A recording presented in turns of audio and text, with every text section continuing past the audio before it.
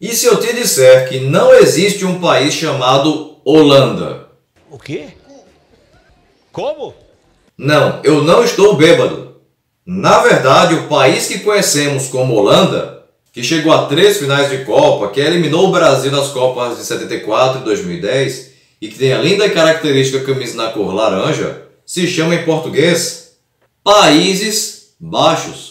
Esse nome vem do fato de que grande parte do país se encontra abaixo do nível do mar. Então por que, que o mundo inteiro chama de Holanda? Não sei. Holanda do Sul e Holanda do Norte são duas províncias dos Países Baixos, justamente as mais desenvolvidas e representativas no século XVII, época em que os neerlandeses, que é o nome correto, expandiram o número de colônias suas em todo o mundo, inclusive invadindo o Brasil, porém sendo expulsos em definitivo após a Batalha dos Guararapes em Pernambuco. Como esses caras, ao chegarem em terras novas, diziam ser de Holanda, em referência à província de onde ele vinha e não do país, quase o mundo inteiro chamou assim durante 400 anos.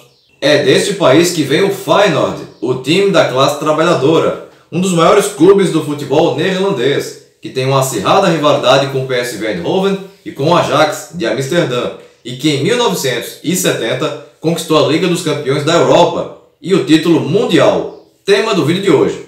Mas antes é importante que você deixe o seu like, se inscreva se ainda não for inscrito, mande o link desse vídeo para pelo menos 10 amigos porque Feyenoord tem 10 letras e confere o que eu vou te contar depois da vinheta.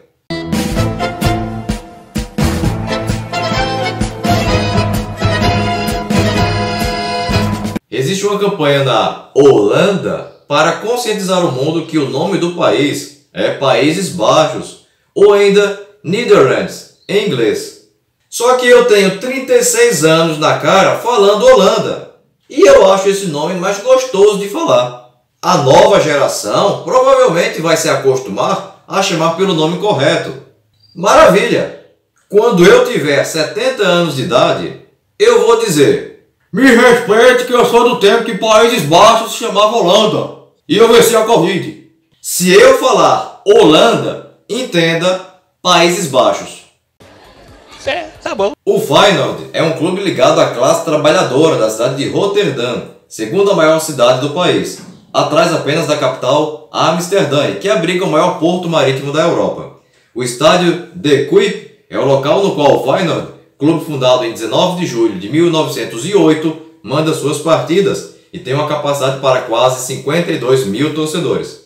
A Segunda Guerra Mundial atrapalhou e muito o desenvolvimento do futebol holandês, mas a partir da década de 70, o futebol dos Países Baixos chamaria a atenção do mundo, com suas equipes ganhando títulos europeus e com a seleção chegando a duas finais de Copa. Na temporada 1968-69, o Feyenoord conquistaria o nono dos seus até aqui 15 títulos de campeão holandês. E com isso ganharia a vaga para disputar a Liga dos Campeões da Europa da temporada 1969-70.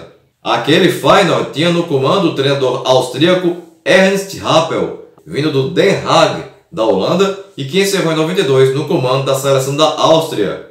E jogadores como o goleiro Peters Grafland, vindo do Ajax, e que encerrou no Feyenoord naquele mesmo ano.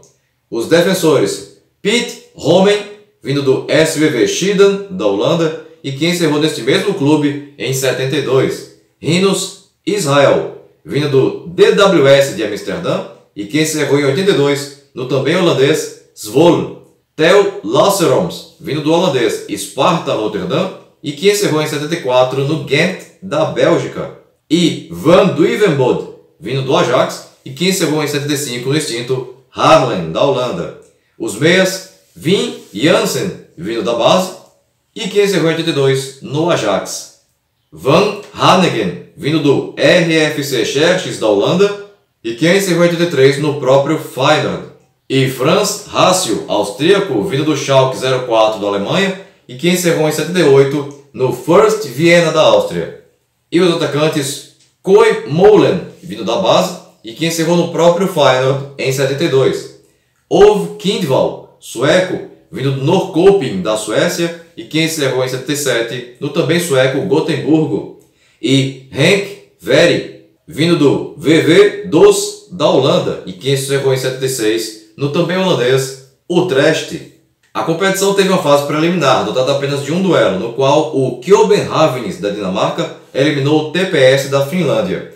A estreia do Feyenoord aconteceu no dia 17 de setembro de 1969 no estádio De Kuip, em Rotterdam.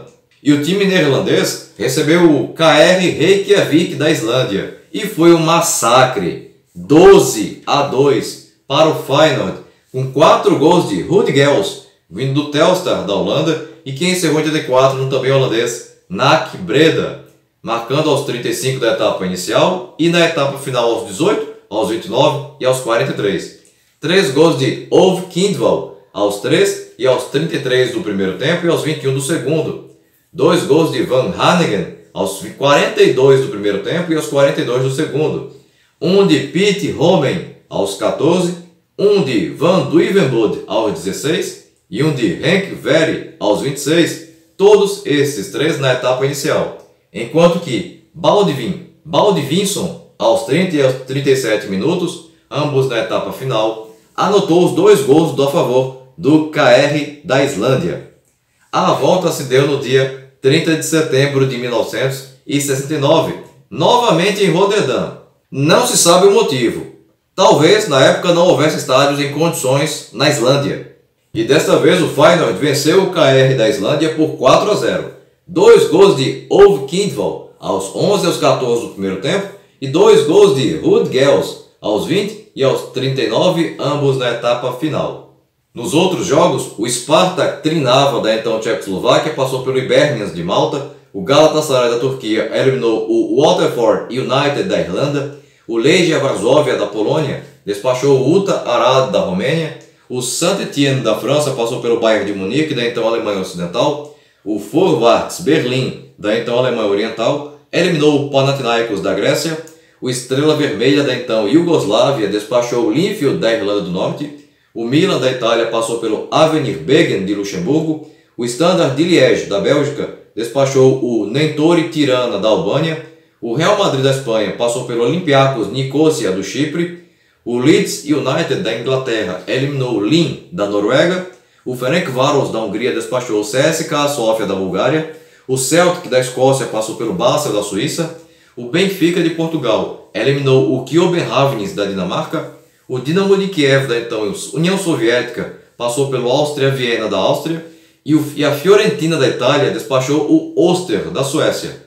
Nas oitavas de finais, o adversário do Feyenoord seria o Milan da Itália, e o primeiro jogo aconteceu no dia 12 de novembro de 1969, no estádio San Siro, em Milão, e o time italiano venceu pelo placar de 1 a 0. Gol do francês Nestor Comban aos 9 do primeiro tempo.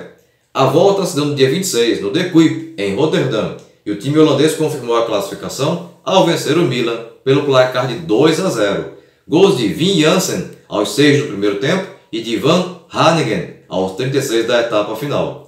Nos outros jogos, o Galatasaray da Turquia eliminou o Spartak Trinava da Tchecoslováquia, o Legia Varsóvia da Polônia passou pelo Saint-Étienne da França, o Vorwärts Berlim da Alemanha Oriental despachou a Estrela Vermelha da Iugoslávia, o Standard Liège da Bélgica eliminou o Real Madrid da Espanha, o Leeds United da Inglaterra passou pelo Ferencváros da Hungria, o Celtic da Escócia despachou o Benfica de Portugal e a Fiorentina da Itália eliminou o Dinamo de Kiev da União Soviética. Nas quartas de finais, o Feyenoord mediria forças diante do Vorwärts Berlim da Alemanha Oriental. E o jogo de ida aconteceu no dia 3 de março de 1970 no estádio Weltjugend em Berlim Oriental. E o time alemão venceu pelo placar de 1 a 0. Gol de Jürgen Pippenburg aos 22 minutos da etapa final. O segundo jogo se deu no dia 17, no estádio de Kuip, em Rotterdam, e o Feyenoord garantiu a vaga nas semifinais ao vencer o Vorwärts Berlim da Alemanha Oriental por 2 a 0. Gols de Ove Kindval aos 2 e Henk Very aos 23 minutos, ambos no segundo tempo. Nos outros jogos, o Celtic da Escócia eliminou a Fiorentina da Itália, o Legia Varsóvia da Polônia passou pelo Galatasaray da Turquia e o Leeds United da Inglaterra despachou o Standard de Liège da Bélgica. Nas semifinais, o time neerlandês teria como oponente o time polonês do Legia Varsóvia e o jogo de ida ocorreu no dia 31 de março de 1970 1970, no estádio Wojska Polskiego, em Varsóvia, capital da Polônia, e o placar final foi de empate em 0 a 0. A volta aconteceu no dia 14 de abril de 1970, em Roterdã, e o Feyenoord se garantiu na final ao bater o Legia Varsóvia por 2 a 0. Gols de Van Hanningen aos 3 e de Franz Hassel aos 31, ambos no primeiro tempo de jogo. Na outra semifinal, o Celtic da Escócia eliminou o Leeds United da Inglaterra. A grande e tão esperada final entre holandeses e escoceses aconteceu no dia 6 de maio de 1970 e o palco daquela decisão seria o estádio San Siro, em Milão, na Itália. No tempo normal, Feyenoord e Celtic empataram em 1 a 1. Gols de Rinos Israel aos 32 do primeiro tempo, a favor do time neerlandês, e de Tommy Gemmel aos 30 minutos, também na etapa inicial, a favor do Celtic, o que levou o jogo para a prorrogação. E nela, o Feyenoord marcou o gol do título, por meio do atleta sueco Ove Kindval, aos 11 minutos do segundo tempo da prorrogação, fechando o placar do jogo em 2 a 1 para o Feyenoord, que conquistava o primeiro título europeu para o futebol dos Países Baixos,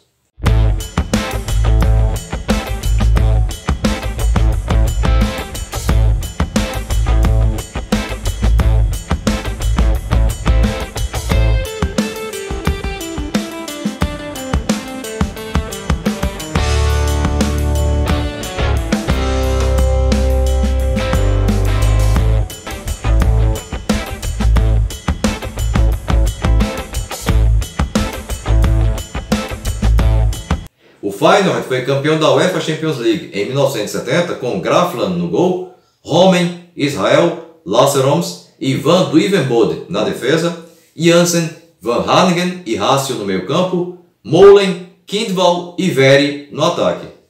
Mas não para por aqui. Com o título europeu, o Feyenoord tentaria agora o título mundial contra o campeão da Taça Libertadores da América, que havia sido os argentinos do Estudiantes de La Plata. Seria um jogo no país de cada um, e se houvesse dois empates ou uma vitória para cada lado, haveria um terceiro jogo em campo neutro.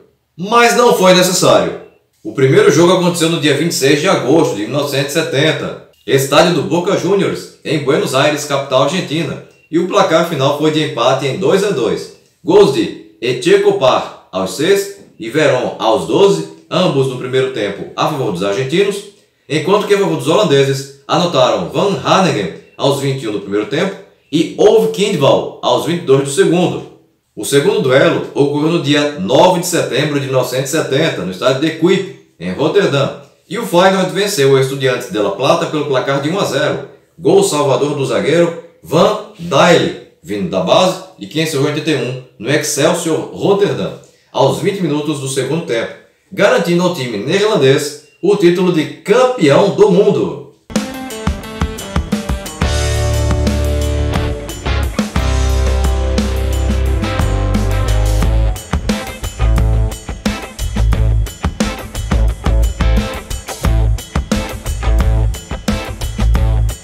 Mas se você chegou até aqui e ainda não é inscrito no canal, aproveita agora a oportunidade para clicar aqui embaixo no botão inscreva-se não esquece de ativar o sininho e se você gostou desse vídeo, deixa aquele super like motivacional agora no final, beleza? Bem pessoal, por hoje é só e até o próximo vídeo. Tchau!